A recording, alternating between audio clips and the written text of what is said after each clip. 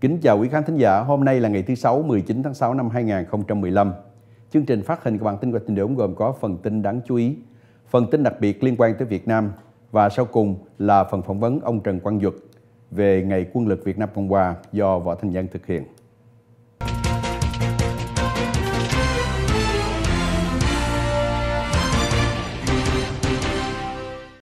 Phần tin đáng chú ý gồm có những tin chính sau đây. Chính phủ đồng ý trả hàng triệu Mỹ Kim cho vụ hóa chất da cam. Các nạn nhân của vụ nổ súng ở nhà thờ được nhận diện. Nhà chức trách bắt 243 người gian lận 712 triệu Mỹ Kim Medicare. Trước hết, kính mời quý khán thính giả theo dõi bản tin chi tiết. Việt Nam miễn chiếu kháng cho 5 nước Âu Châu để đẩy mạnh du lịch. Việt Nam sẽ miễn nhu cầu chiếu kháng du lịch cho thêm 5 nước Âu Châu để đẩy mạnh ngành du lịch yếu kém.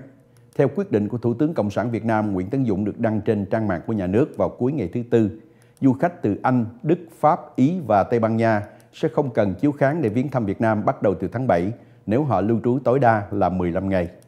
Năm ngoái có gần 8 triệu người ngoại quốc viếng thăm Việt Nam. Hiện tại, Việt Nam miễn trừ chiếu kháng hỗ tương với 9 nước trong khối ASEAN hay Hiệp hội các quốc gia Đông Nam Á và đơn phương miễn chiếu kháng cho du khách từ 4 nước Nga, Belarus, Nhật và Nam Hàn. Lý do quân đội Việt Nam muốn mua chiến cụ của Mỹ Ngũ Giác Đài dự định tặng cho Việt Nam hàng triệu Mỹ Kim để mua các tàu tuần tra do Mỹ chế tạo vào 40 năm sau cuộc chiến đẫm máu và gây chia rẽ của Mỹ tại Việt Nam.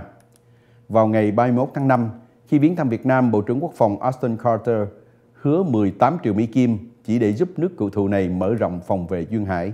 Các tàu này là sự cộng thêm mới nhất vào danh sách gia tăng của Hà Nội về vũ khí Tây phương, vốn cũng bao gồm thêm tàu chiến, chiến đấu cơ và phi cơ không người lái. Hồi tháng 4, Việt Nam chủ tọa Hội nghị Quốc phòng do Tòa đại sứ Mỹ tổ chức với sự tham dự của đại diện các công ty khổng lồ của Mỹ như Boeing, Lockheed Martin, Honeywell International và hơn một tá công ty khác. Gần 3 tuần lễ trước đó, Hải quân hai nước đã thực hiện nhiệm vụ huấn luyện chung trùng hợp với dịp kỷ niệm 20 năm bình thường hóa bang giao. Đó là lần thứ sáu của sinh hoạt thường niên giữa Hải quân hai nước. Sự gia tăng mất tin tưởng giữa Hà Nội và Bắc Kinh đã đóng vai trò chính trong việc vội vã hòa giải này. Việt Nam muốn có chiến cụ tốt hơn để đối phó với một nước Trung Cộng gia tăng hiếu chiến. Và Hà Nội cũng thực sự muốn tối tân hóa lực lượng cho thế kỷ 21.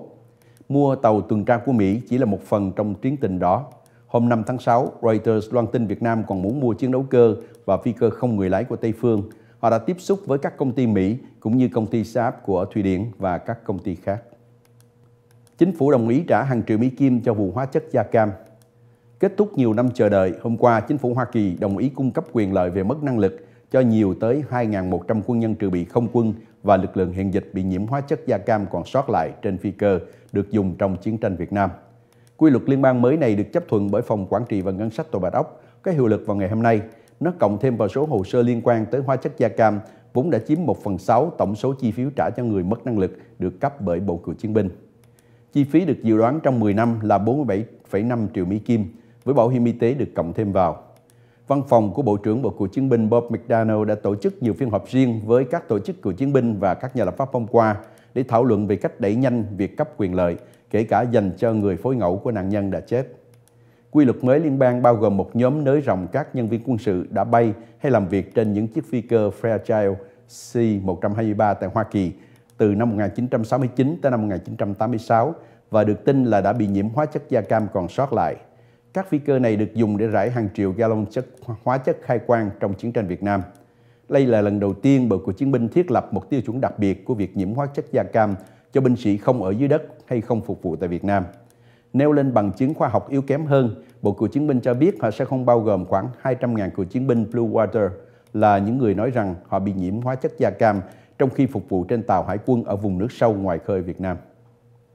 Phe Dân Chủ ngăn chặn dự luật chi tiêu quốc phòng Hôm qua, phe Dân Chủ ngăn chặn dự luật chi tiêu quốc phòng cho tài khoá 2016 tại Thượng viện là một phần của cuộc vận động buộc phe Cộng hòa bắt đầu điều đình ngân sách bằng cách từ khước cho phép bất cứ dự luật chuyển chi nào được xúc tiến tới cuộc chung quyết.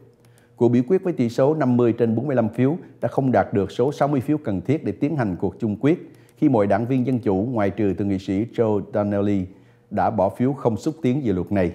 Cuộc biểu quyết hôm qua là cuộc thử nghiệm đầu tiên của sách lược ngân sách của phe Dân Chủ, báo trước một cuộc tranh đấu gây go trong năm nay về chính sách thuế má và chi tiêu. Dự luật này bị bế tắc không bao lâu sau khi Thượng viện biểu quyết với tỷ số 71 trên 25 phiếu để thông qua dự luật chính sách quốc phòng ủy quyền 612 tỷ Mỹ Kim cho chi tiêu quốc phòng trong tài khóa 2016 và bắt đầu cải tổ vốn có thể giảm bớt chi phí trong dài hạn. Tổng thống Barack Obama dọa phủ quyết cả hai dự luật này vì những vấn đề bao gồm việc sử dụng ngân khoản của chương trình Overseas Contingency Operations. Các nạn nhân của vụ nổ súng ở nhà thờ được nhận diện. Cả nước đang đau buồn về cái chết của 9 người bị giết trong khi tập trung cầu nguyện tại một ngôi giáo đường truyền thống của người da đen ở Charleston, South Carolina.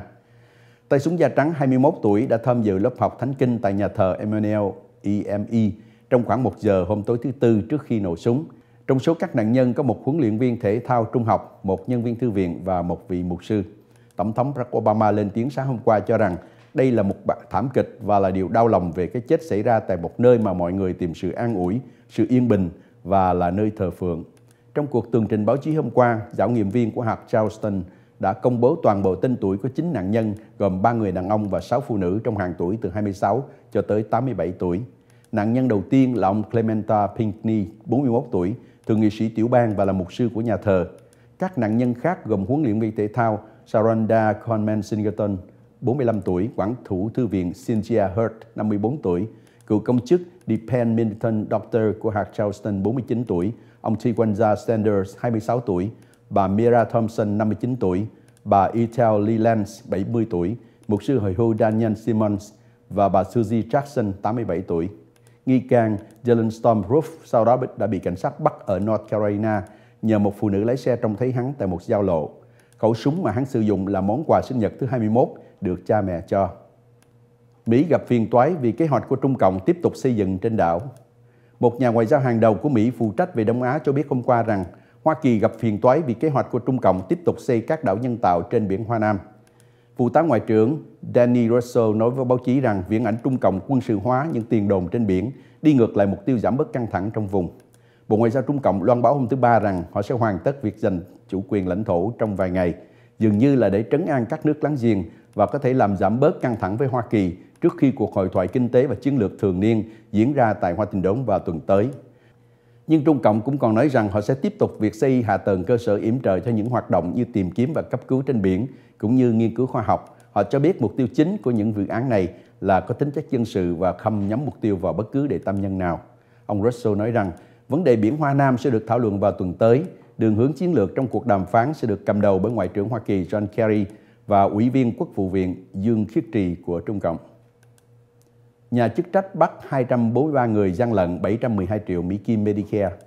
Bộ Tư pháp cho biết hôm qua rằng 243 người đã bị bắt trên khắp nước vì tội đệ trình hóa đơn giả về Medicare, tổng cộng là 712 triệu Mỹ Kim.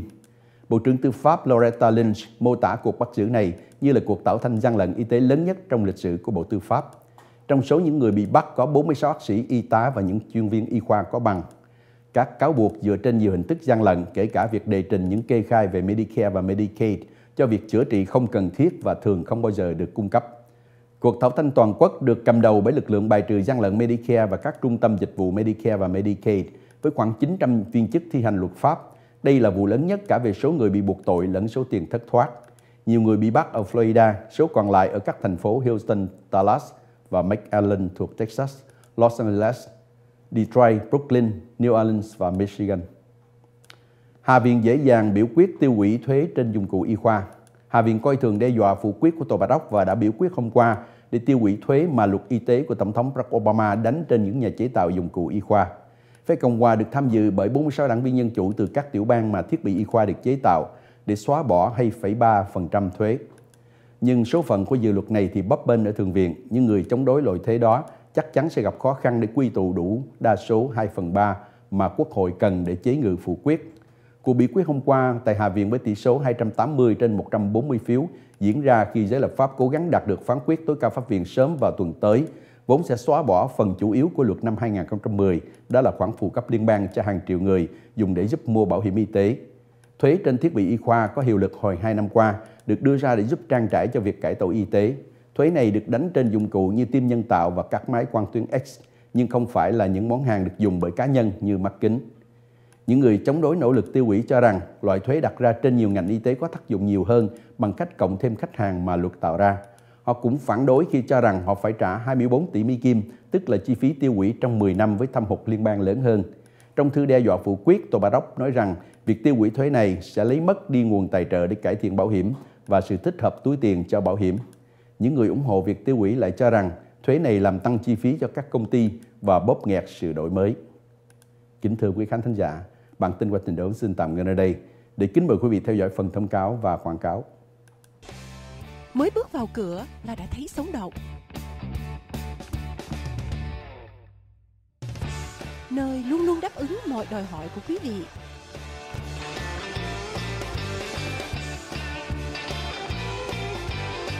Nơi mà bè bạn, thức ăn ngon lúc nào cũng chờ đón.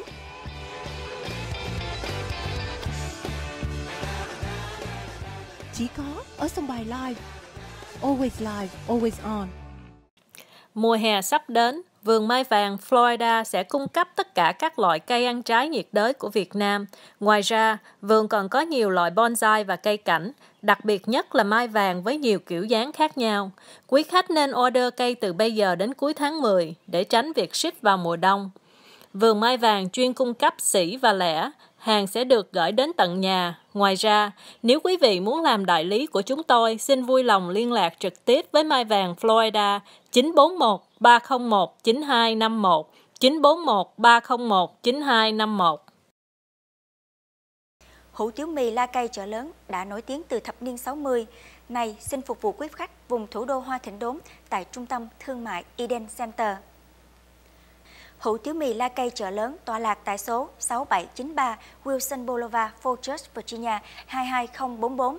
Điện thoại liên lạc 703 531 1420 703 531 1420.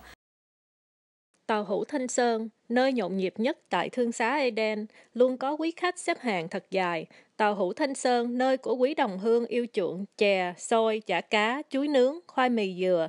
Đặc biệt trà chân châu, tàu hủ đủ loại, sữa đậu nành, giò lụa, giò bì và nhiều món ăn đặc biệt theo mùa như bánh trung thu và bánh chưng. Tất cả món ăn được nấu và sản xuất tại chỗ. Mở cửa mỗi ngày từ 10 giờ sáng tới 8 giờ tối. Địa chỉ số 6793 Wilson Boulevard, Fort Church, Virginia 22044. Điện thoại số 703 534 1202 703 534 1202. Nhà hàng Trung Hoa New Fortune tại Maryland đã phục vụ hàng ngàn dạ tiệc trong thời gian qua. Nhà hàng Trung Hoa chuyên về các món ăn Quảng Đông với kinh nghiệm nhất cho tiệc cưới, tiệc liên hoan, họp mặt hội đòn. Có điểm sắm mỗi ngày và giá đặc biệt cho các tiệc vào ngày thứ Sáu và Chủ nhật. Nhận đặt tiệc cưới cho năm 2015 và 2016. Mở cửa mỗi ngày, Chủ nhật đến thứ năm 11 giờ sáng tới 1 giờ sáng, thứ sáu và thứ bảy 11 giờ sáng đến 2 giờ sáng. Điện thoại số 301 926 8828 hoặc 301 548 8886. Ông bà Tony Trần kính mời. Thẩm mỹ viện Ngọc Minh tại Eden Center đặc biệt có bán các loại kem mỹ phẩm, sữa tắm và các loại dược thảo như đông trùng hạ thảo, linh chi, yến khô và nước, super fucodan, Collagen của Pháp, Nhật, Đại Hàn, Indonesia có FDA chứng nhận cho các hiệu nổi tiếng như J, Billmore, EV Princess, bảo đảm giá hạ nhất trong vùng hoa thịnh đốn. Điện thoại số 703 237 3999, 703 237 3999.